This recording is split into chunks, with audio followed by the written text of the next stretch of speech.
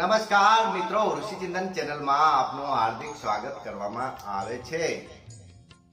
આજનો વિષય છે રાષ્ટ્ર નિર્માણના પુરોહિત વિવેકાનંદ, ઉઠો, જાગો અને જ્યાં સુધી લક્ષ્ય પૂરું ન થાય, ત્યાં સુધી અટકો નહીં.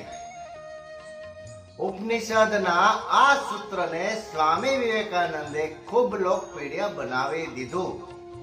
જેમણે શિક્ષણ અને સમર્પણ દ્વારા બાળકનું નિર્માણ કરવું હોય, એવા યુવાનોએ આ વાક્યને મહામંત્ર બનાવી દેવું જોઈએ. અત્યારે આ સૂત્રને અમલમાં મૂકવાનો શ્રેષ્ઠ સમય છે, કારણ કે ભારતને લગભગ પાસઠ ટકા વસ્તી યુવાનોની છે. ભારત આજે દુનિયાની મુખ્ય આઈટી શક્તિના રૂપમાં પ્રખ્યાત છે. આપણે જીડીપીમાં સેવા ક્ષેત્રનું બહુ મોટું યોગદાન છે. ભારતના સર્વાંગી વિકાસ માટે નિર્માણ, ખેતી, ઊર્જા અને બુનિયાદી ઢાંચાને યોગ્ય વિકાસ થાય તે જરૂરી છે. તેથી દેશ વહેલી તકે દુનિયાની તેજી સૌથી મોટી અર્થવ્યવસ્થા બની શકે. મિશિગન વિશ્વવિદ્યાલયના પત્રકારોને સ્વામી વિવેકાનંદે કહ્યું કે અત્યારે ભલે તમારી સદી છે પરંતુ એકવીસમી સદી ભારતની હશે શંકાશીલ અને નિરાશાવાદી લોકોએ એ વખતે પણ આ વાત પર શંકા કરતા કે શું ભારત બધા અવરોધોને પાર કરીને દુનિયાને મજબૂત અર્થવ્યવસ્થા બનાવી શકશે ખરો આજનું વાતાવરણ જોતા એવું થવાની આશાના કિરણો જોવા મળે છે. વિશ્વ બેંક, આંતરરાષ્ટ્રીય મુદ્રા કોષ અને આવા બીજા બધા જ સંગઠનો માનવું છે કે ભારત વિકાસની સાચી દિશામાં આગળ વધી રહ્યો છે. જો કે, આપણે કેટલા અવરોધો તથા પડકારો તરફ ધ્યાન આપવાની જરૂર છે. બધી વિચારધારાઓમાં બધી રહેલી પૂર્વગ્રહોની સામનો પણ કરવો પડશે. નવા ભારતની બુનિયાદને મજબૂત બનાવવા માટે સામાજિક સૌહાર્દ તથા શાંતિપૂર્ણ વાતાવરણ સાથે સમાજમાં સમાનતાની સ્થાપના કરવામાં, માર્ગમાં આવતા અવરોધને દૂર કરવા પડશે. રાષ્ટ્રપતિ મહાત્મા ગાંધીજીએ કહ્યું કે ભારત તેના ગામડાઓમાં વસે છે. જ્યાંથી જ્યાં સુધી ગામડામાં રહેતા લોકોનો સંપૂર્ણ વિકાસ નહીં થાય, ત્યાં સુધી દેશની સાચી ઉન્નતિ નહીં થઈ શકે. વિકાસની દોડમાં પાછળ પડી ગયેલા લોકોના ઉદ્ધારને ધ્યાનમાં રાખીને આપણે આગળ વધવું પડશે. ગામડાઓના સર્વાંગી વિકાસનું લક્ષ્ય નક્કી કરવું જોઈએ. સાથે સાથે ખેતીને આકર્ષણ વ્યવસાય બનાવીને ખેડૂતોની આવકને બમણી કરવી પડશે. ખાદ્ય પદાર્થોની સુરક્ષાને ધ્યાનમાં રાખીને ખેડૂતોના કલ્યાણને પ્રાથમિકતા આપવાની જરૂર છે. આજે દેશની વૃદ્ધિ અને વિકાસની સાથે જોડાયેલા સાચા અને સાર્થક મુદ્રાઓને બદલે નકામી બાબતોની ચર્ચા કરવામાં આવે છે. પ્રચાર પ્રસારની બે સૌથી શક્તિશાળી માધ્યમો મીડિયા અને સિનેમા વિશે ગંભીર ચિંતન કરવાની જરૂર છે.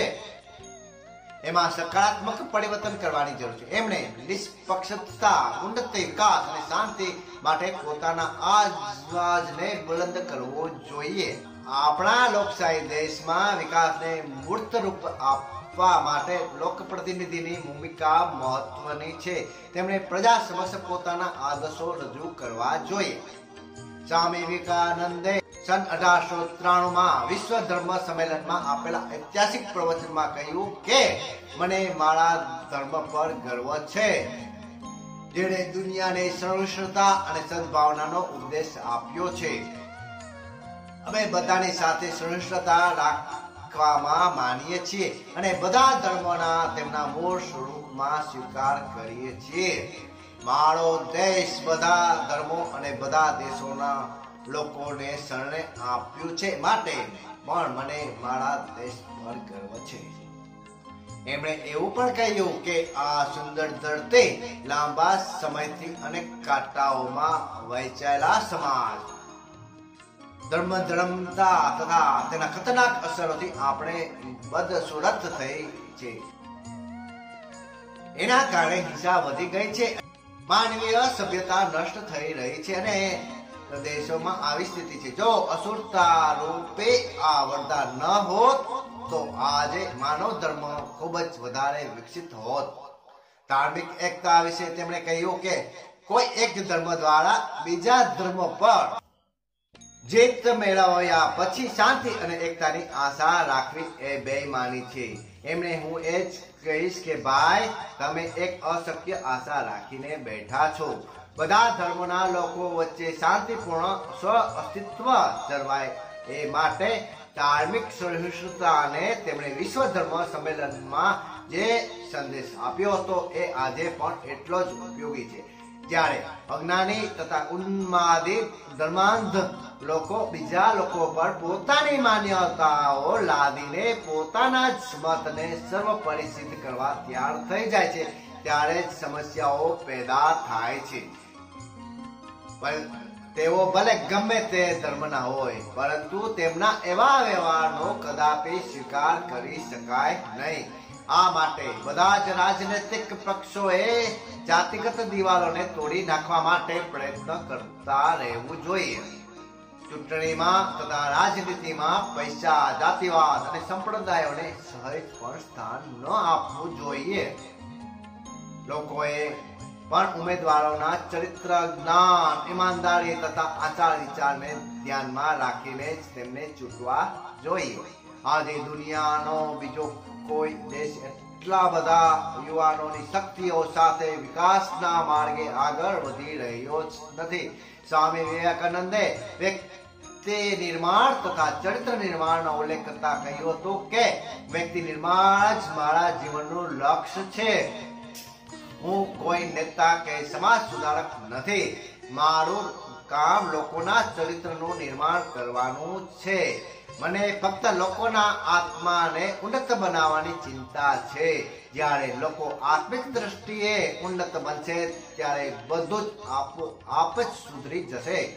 વિવેકાનંદ માનતા હતા કે શિક્ષણનો ઉદ્દેશ જ જીવન નિર્માણ, વ્યક્તિ નિર્માણ અને ચારિત્ર નિર્માણ હોવો જોઈએ.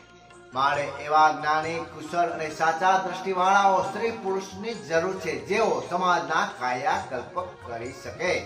સ્વામી વિવેકાનંદ જાતિ તથા ધર્મથી પર રહીને માનવ જાતને ઉત્થાનમાં માનતા હતા. માનવ જાતની પ્રગતિ અને અસ્તિત્વ માટે તેમણે આધ્યાત્મના મહત્વ પર ભાર મૂક્યો હતો. તેઓ સિદ્ધિ આધ્યાત્મ ઉદ્દેશક હતા. તેમણે પશ્ચિમના લોકોને યોગ્ય અને વેદાંતમાં સાક્ષાત્કાર કરાવ્યો. વિશ્વ ધર્મ સંસદમાં તેમણે હિન્દુ તત્વ અને તેના જીવન દર્શનના સાચા સ્વરૂપમાં સમગ્ર વિશ્વને પરિચય કરી આવ્યો. સ્વામી વિવેકાનંદે પશ્ચિમ અને પૂર્વની વચ્ચે એક સેતુના જેવું કામ કર્યું હતું. તેમણે માનવતા અને તથા આધ્યાત્મના પાયાને મજબૂત બનાવવા માટે બહુ મોટો ફાળો આપ્યો હતો. આજની યુવાન પેઢીએ તેમના આદર્શોને પોતાના જીવનમાં અપનાવવા જોઈએ. સ્વામી વિવેકાનંદ એક મહાન રાષ્ટ્ર નિર્માતા હતા. દેશની પ્રગતિ કેટલાક તોફાની તત્વો ગંદા પ્રયાસો દ્વારા ઓળાદો પેદા કરતા રહ્યા છે. એવા સમયમાં તેમનો ઉપદેશ અત્યંત મહત્વનો છે. ભારતના લોકો હંમેશા સર્વધર્મ તથા સમભાવમાં માને છે. તેઓ હંમેશા શાંતિ તથા સૌહાર્દની ઈચ્છા રાખે છે. શાંતિપૂર્ણ સ્વ અસ્તિત્વ આપણા મૂળ મંત્ર છે. તેથી આપણે આપણા સમૃદ્ધ વારસા તથા સંસ્કૃતિને પુનર્જીવિત કરવા માટે પ્રયત્નો કરવા જોઈએ. જય ગુરુદેવ જય ગુરુદેવ જય ગુરુદેવ.